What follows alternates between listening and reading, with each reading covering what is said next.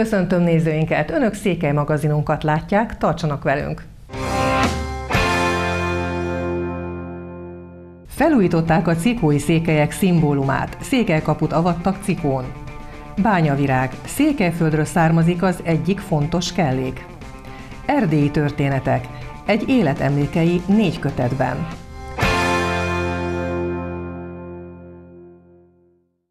Ünnepi keretek között adták át Cikón a felújított székelykaput. 11 év után vált szükségessé a kapu renoválása, amit pályázati támogatásból és a helyiek összefogásával valósítottak meg. Potápi Árpád János nemzetpolitikáit felelős államtitkár, Tolna megye kettes számú választókerületének országgyűlési képviselője köszöntő beszédében elmondta, nagyon fontosnak tartja a székelység szimbólumainak, hagyományainak és kultúrájának az ápolását. Én felmegyek egy nagy hegyre, én felmegyek egy nagy hegyre, annak December 1-én ünnepélyes keretek között adták át Cikó község szimbólumává vált székelykaput. A cikói hagyományőrző kórus tagjai székelydalokkal köszöntötték az ünnepségen jelenlévőket. A felújított kaput pályázati támogatásból és helyi összefogással sikerült újszerű állapotba hozni. Bogos Jaromosné, a Cikói Hagyományőrző Egyesület elnöke elmondta, hogy 11 év után vált szükségesé a kapu helyrehozatala, hiszen az eltelt évek során nagyon rossz állapotba került éppen felavattunk egy felújított székelykaput, amit 11 éve avattunk eredetileg, és sajnos eléggé el korhat már a teteje, nem lehetett az semmit megmenteni belőle. Az oszlopokat úgy tudtuk megmenteni, hogy megfordították a, a férfiak, és a másik oldalát faragták meg, mert csak egyik oldala volt megfaragva. Hát igaziból az egyes, mi kis egyesület vagyunk, tehát pénzünk nem lett volna rá, de a, az egyesület férfi tagjai közül hárman, négyen összedugták a fejüket, hogy mit tudnának csinálni, hogy van-e pénz hozzá, ki tudná megcsinálni, és az egyik jó fej valaki azt mondta, hogy hát próbálják meg, mert ő már egyet faragott, és, és akkor segít megmutatni, mintákat hoztak Erdélyből, kiválasztottak egyet. Hát több mint három hónapig dolgoztak rajta, esőbe, 40 fokba, de úgy gondolom, ha ránézünk, akkor azt mondjuk, hogy, hogy megérte. Bogos Jeromosné azt is hozzátett, hogy a kapu fontos kellék a cikon élő székely közösségnek, és örül neki, hogy példaértékű összefogással új életre tudták kelteni ezt a székely szimbólumot. Volt, aki betont adott, volt, aki a virágosítást, most megoldottuk a parkosítást, volt, aki most majd az állófogadáshoz járult hozzá, Szóval nagyon örülök, nagyon örülök, hogy ez elkészült. Az avatáson Potápi Árpád János, nemzetpolitikáért felelős államtitkár, Tolna megye kettes számú választókerületének országgyűlési képviselője is jelen volt, és beszédében kiemelte, Fontosnak tartja a székely közösségek hagyományőrzését, és minden egyes településen, ahol az ott élők a saját nemzetiségük jelképeit elhelyezik, a kultúráját ápolják, azt jelenti, hogy az a közösség élni akar, és erős identitástudattal rendelkezik. A Székelykaput 2010-ben állította a Cikó község önkormányzata, illetve a falu lakosai. 11 év alatt sajnos eléggé tönkrement, és e, helyre kellett állítani egy, szél, egy széles összefogás eredményeképpen most közösen ünnepelhetjük a, a kapunak, a székely kapunak a felavatását. Ez a székely kapu is emlékeztet arra, hogy a bukovinai székelységnek nem csak múltja van és jelenne, hanem szeretnénk azt, hogyha a jövőnk is lehetne, és emlékeztesen mindig arra, hogy itt Cikon olyan székely emberek is élnek, akik büszkék a hagyományaikra, és azt szeretnék továbbadni a gyermekeiknek és unokáiknak is. Potápi Árpád János azt is elmondta, hogy a december 1 -e több okból is fontos dátum. 103 évvel ezelőtt, 1918. december 1-én született határozat arról, hogy a Magyar Királyság keleti területei benne a történelmi Erdéllyel úgymond egyesülnek a Román Királysággal. Így került végül a trianoni diktátummal jóváhagyott 103 ezer négyzetkilométernyi terület Romániához. De történtek pozitív dolgok is december 1-én tette hozzá a nemzetpolitikáért felelős államtitkár. 1800-ban ezen a napon született az egyik legnagyobb magyar költőnk, Vörös Marti Mihály. Azt gondolom, hogy ne a gyásznapokat ünnepeljük, emlékezzünk rá, de ünnepként mi ne jeleskedjünk ebben, hanem emeljünk ki olyan pozitív dolgokat és kapaszkodjunk abba, amely számunkra előremutató dolog. December 1-én született 1800-ban Vörös Marti Mihály, az a Vörös Marti Mihály, aki a Percel gyermekeknek, Percel Mornak és testvéreinek itt Bonyhádon, innen néhány kilométerre a nevelőjük volt, házi tanítójuk volt, aki átadta mindazt a magyarság élményt, erős magyarság tudatot, ami azt is eredményezte, hogy a szabadságharcban a percelek egy tábornokot és egy ezredest adtak a függetlenségért, illetve a szabadságharcnak. A bukovinai székelység története során az egyik legtöbbször áttelepített magyar népcsoport, melyet a számkivetettségben is megtartott erős hite és ragaszkodása a magyar nyelvhez, kultúrához és identitáshoz. Ez bizonyítja a cikon felszentelt székelykapu is. Nagy sikerrel tűzi műsorra a Pécsi Harmadik Színház Székely Csaba Bányavirág című darabját Vince János rendezésében. Az itt szemünk elé táruló Erdély azonban nem az a mesebeli hely, amit sokan elképzelnek. Fenyvesek, népviseletbe öltözött emberek, medvék és ízes beszéd. Az idéről maguk a szereplők rántják le a leplet ott, ahol a bányavirágok nyílnak. A darab egyik fontos kellékét, a posztózekét Fazekas István hozta Erdélyből. A kun származású Pécset élő vegyészmérnök büszke őseire, hiszen, mint mondja, a kunok állnak legközelebb a székelyekhez, testvérnépnek hívják őket. Az igazi Erdély, a nagyon is valóságos Székelyföld a helyszíne, és az ott élő emberek cseppet sem könnyű élete a fő témája Székely Csaba bánya trilógiájának. A központi jelkép a bánya. Ott, ahol talán szenvedni jó, de ott, ahol biztosan bányavirágok nyílnak, ott, ahol megvakul az ember, és ott, ahonnan mérgező víz fakad. A mű az erdélyi valóságot mutatja be, nem pedig azt a tündérmeségbe illő idilli képet, amit sokan gondolnak róla. A Pécsi Harmadik Színház évek óta nagy sikerrel tűzi műsorra a trilógia első részét, a bányavirágot, Vince János rendezésében. A darab főszereplője László Csaba. Mindig szerettem volna eljutni Székelyföldre, mindig szerettem volna ott túrázni, vagy ott kirándulni, de soha nem mertem elindulni. Azért nem mertem soha elindulni, mert először is azt gondoltam, hogy talán én túl misztifikálom a dolgot, valami, valami nagyon nagy dolgot várok tőle, és nem szerettem volna csalódni. Másrészt pedig nem, szeret, nem szeretnék ilyen, hogy is mondjam, csak ilyen, ilyen magyarkodó turistaként oda menni, aki, aki hallott, látott valami szépet, és aztán mindenáról azt keresi, vagy azt akarja újra, újra átélni. De nagyon érdekel az ő, az ő, történetük, nagyon érdekelnek ezek az emberek, nagyon sok ismerősöm van, aki onnan származik, a, a volt középiskolámnak a volt igazgatója is egy, egy, egy, egy székely ember.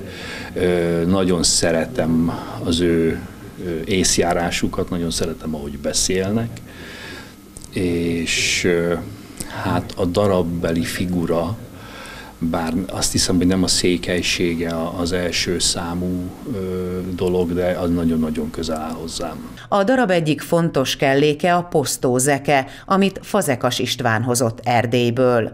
A kun származású vegyészmérnök 1974-ben járt először a Székelyföldön. A kapcsolat onnan indult, hogy megismerkedtünk egy sor magyar családdal a kolozsvári kapcsolat révén, aki székelyföldi, bereszki születésű volt, Frenkó Pista bácsi Isten nyugtassa, és körbevitt bennünket Székelyföldön. És a megismert családok közül többel nagyon jó baráti, szakmai, később vállalkozási, gazdasági kapcsolat is kialakult, és ez a kapcsolat bővült aztán tulajdonképpen oda, hogy ma Kovászna megyét, ahogy ma egyébként mondjuk három széket, félig pedig a saját megyémnek is tudom már. Származásomban nem, kun vagyok, Kiskunfélegyházi kun, bár Kiskun és a genetikai vizsgálatok kimutatták, hogy a magyarországi népcsoportok közül a kiskunok állnak legközelebb a székelyhez. Én már középiskolába is, egyetemista koromban is rengeteget olvastam, érdekel, csak akkor még nem volt kijárási lehetőség, ugyan abban az időben, 60-as évekről beszélünk. És aztán ez a, ez a megérzés aztán testesült kinn, amikor ott voltam, és, és ugyanazt éreztem, mint amikor itthon vagyok. Tehát egy ilyen szinte rokoni baráti kapcsolat, ami aztán tényleg végül odáig mélyült, hogy ma hát ilyen testvén kapcsolatnak is nevezzük egymást, például Lackó családdal, Lackó barátommal, és ez meg is van alapozva 50 év alatt. 1989-ben, amikor kinn is volt egy fordulat, jelentős fordulat, hatalmas volt a szegénység, óriási volt az elkeseredés, és akkor, mikor következő utamon kim voltam Erdélyben, akkor megkérdeztem háromszéken, hogy miben tudnék segíteni. És akkor azt mondták, hogy két dolog hiányzik, kenyér és szó. És akkor ott nagyon gyorsan volt rá módom, hála Isten, csináltunk egy nagyon klassz pékséget Szentgyörgyön. Mondhatnám, hogy, hogy szinte, szinte a, a nulla szintről indult az ellátásuk, és mellette csináltunk egy nagy nyomdát, ahol mi adtuk ki a Három Szék című lapot, megyei lapot, ami később aztán tovább indult, és utána pedig a Székely Hírmondó című megyei lapnak a, a tulajdonosi körébe, kiadói körébe voltam benne. És aztán ezek a kapcsolatok oda jutott, juttattak, hogy egy sor dologba igény volt arra, hogy még tovább, még tovább, még tovább, és ezek a személyes kapcsolati bővülések jutottak el odáig, hogy amikor azt mondtam, hogy a bányavilágot játszák Pécset, a harmadik színházba, szükségünk van egy-két dologra, de azonnal. És akkor tényleg napok alatt elkészült a, a posztó László Csapa úr részére, és nagy örömmel hoztam, épp soha nem felejtem el, épp a főpróbára estünk be vele, és onnantól kezdve a mai napig itt van látható meg hát néhány más székely darab is, amiket eh, onnan kaptam, Erdélyből kaptam, ajándékba, vagy én hoztam magammal. Arra nem nagyon emlékszem, hogy mennyire volt ö, ö, fontos. Talán én nem is tudtam, hogy jön. Igazából nekem ez meglepetés volt, mert a darabban egy, egy pulóver, egy kötött pulóver a főszereplő a ruhadarabok közül, ami, ami eleve, eleve kicsi már, és arra kell ráhúzni az utolsó, az utolsó jelenetben. De azt tudom, hogy nagyon szerettem volna hordani, meg szeretném is hordani, hogyha lehetne, hogyha tudnám. De olyan félve nyúltam mindig hozzá, mert azt gondolom, hogy ez ebből nem, nem illik, vagy nem szép dolog viccet csinálni, és, és sokáig nem tudtam eldönteni, hogy a darabban mi most ebből viccet csinálunk, ez poén, vagy esetleg mm, rosszul veszi ki magát, hogy, hogy, hogy ilyesmi, ilyesmivel viccelünk, de sokkal szebb ez a ruhadarab annál, mint hogy, mint hogy elhülyéskedjük a dolgot. Koller Márton Névera néni lassan két évtizede veti papírra Székelyföldön töltött éveit, nagyszülei és szülei olykor nehéz és küzdelmes életét, Magyarországra településük körülményeit. Könyveiben nagy hangsúlyt fektet a székely szavak használatára. Célja a mindennapi életben már-már alig használt kifejezéseket ebben a formában tovább örökítse az utókor számára. Négy kötetben írta le Koller Márton Vera néni Székelyföldön töltött gyerekkori éveit, a szülei, nagyszülei sokszor küzdelmes és nehéz életét, a Magyarországra településük történetét. Vannak emlékek, amik nagyon hamar elmosódnak, de azok, amik számomra fontosak, kristálytisztán megmaradnak. Én ezeket az emlékeket vetettem papírra, tovább örökítve az utókor számára. Feltámad bennem a félelem, vajon az én emlékeim, amik számomra sokat jelentenek, az idő, az öregség nem kezdje ki, és nem tudom elmondani a történeteimet azoknak, akik ebből a tőből fakadnak, amiből én. Ha valaki nem ismeri ősei történetét, vagy netán nem is kíváncsi életükre, annak a múltjában nagy űrtátong, lelkiekben mindig szegény ember marad, mondta Evera néni. Próbáltam úgy megírni az, az emlékeimet, ahogy bennem maradt. Ö, tulajdonképpen ö, hat éves korom, hat és fél éves voltam, amikor áttelepültünk Erdélyből. De ahhoz, hogy én nagyon kicsi voltam, rengeteg élmény megmaradt. Hála Istennek úgy azért nem mosódott ki a fejemből, és ezeket próbáltam szépen úgy összerakosgatni, és mindenképpen a székely szavakat úgy, ahogy ejtettük, úgy is írtam. Ameddig az erdélyi történetek folynak, addig a székely szavakat írtam, de ahogy már átrepültünk Bonyhádra, nem mint hogyha már elfelejtettük volna a székely beszédnek a dallamát, meg a szavait, de jelezve akkor, hogy Magyarországon élünk, akkor már irodalmi nyelven folytattam a történeteket. Hát úgy majd fele Erdélyben történik, és utána Magyarországon. Hát ezekből a kisebb, nagyobb történetekből áll a könyvem. Ebbe a, a dévai nehéz éveket leírtam, hogy tulajdonképpen miért kényszerettek rá a szülők, hogy, hogy elhagyják a szülőföldet, hogy ott hagyják a szüleiket, a templomot, a temetőt, amihez hát nagyon kötöttek. 2005-ben vesztette el férjét, ami nagyon megviselte, és ebből a mély szomorúságból gyerekei segítségével tudott kilábalni.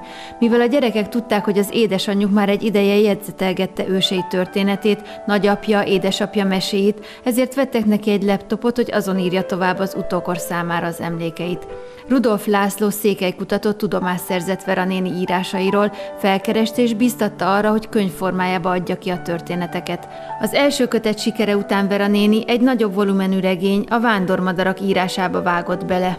A sok dicséret után úgy gondoltam, hogy én a sok történet, amiket én hallottam, különböző, vagy erdélyektől, vagy bukovinai székelyektől, sváboktól, mivel hogy a férjem által ugye a rokonságba némek, ajkúak is belekerültek, így a sok történetből próbáltam egy olyan regényt összehozni, mondhatom történelmi regénynek, mert a második világháború alatt kezdődik, és valahol az 50-es években fejeződik be. 70 éves elmúlt már, amikor elkezdte írni a Bíbor Vörös Alkonyat című könyvét. De akkor már 70 fölött voltam, amikor úgy gondoltam, hogy próbálok idős emberekről írni, mert az idős emberekről a fiatalok, hát ugye hallanak, megértik, de átérezni az ember csak akkor tudja igazán, hogyha már megérte. És hát már ugye 70 fölött az ember sok minden olyan dologgal találkozik, ami hát ugye az, az idős ember szíven üti, kicsit érzékenyebbek is, ahogy idősödnek az emberek, vagyis hát ugye, ha magam gondolok, hát ez, ezt én tudom igazolni, hogy ez így van. És hát, mert a vándormadarakban ugye írtam az a különböző népcsoportokról.